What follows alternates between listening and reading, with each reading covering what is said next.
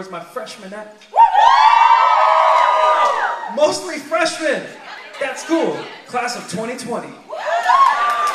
That's right, guys, you have a good pickup line. You can walk up to a girl and be like, you know I'm 2020. I can see that booty from a distance. Yeah. That's right.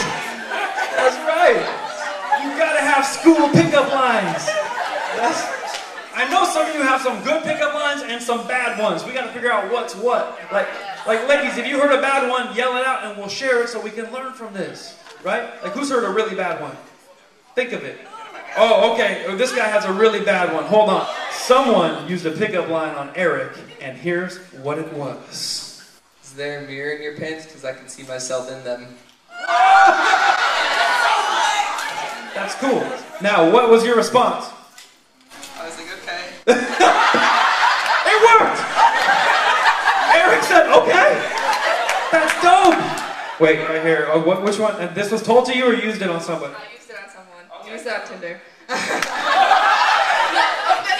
You used it on Tinder? You're supposed to say a pickup line, not type it out. Hold on, let me. Is there a mirror in your All right, hold on. Can I? Li- I want to put peanut butter all over your body and lick it off until my peanut allergy kills me. What the hell? I want. I, no wonder she typed it because she stuttered it too. I, I want to put put put. pe- Her tongue was swollen because she was eating peanut butter while she's thinking about it. But put, put peanut butter in your pants and lick them in the mirror in the pocket.